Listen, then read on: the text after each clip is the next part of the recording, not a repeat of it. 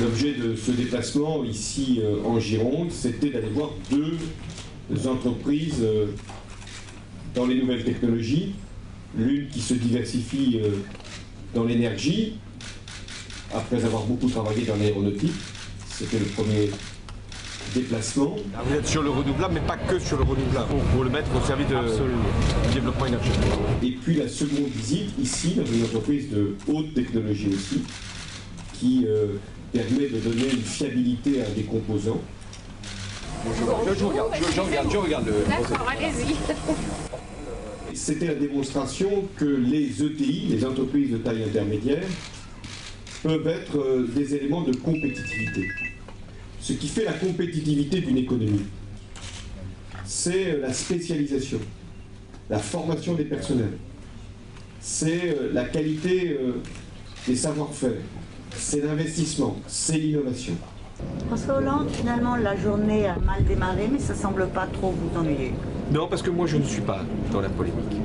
Je considère que les Français méritent mieux que l'utilisation incessante euh, des propos d'ailleurs déformés pour euh, faire je ne sais quelle montée euh, qui crée ensuite le désordre.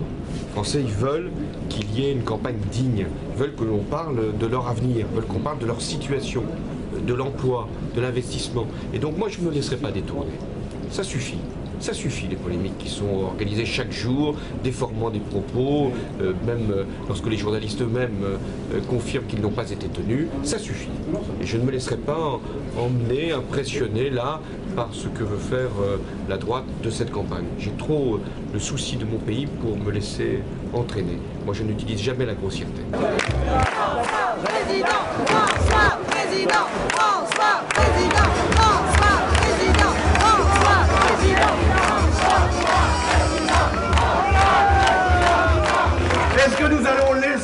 cette société injuste, inégale, déchirée.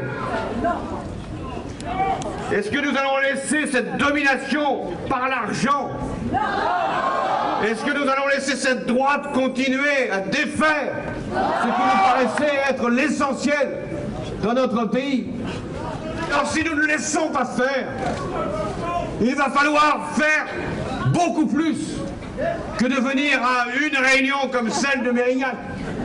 Et je vous donne là votre feuille de route. Moi, je vais partir ce soir. Non, pas ce soir. Mais demain, à la première heure. Je serai demain à Caen. Mais vous, vous n'allez pas pouvoir me suivre. Mais vous allez devoir faire le travail que chaque citoyen a en démocratie. Parler, expliquer, convaincre.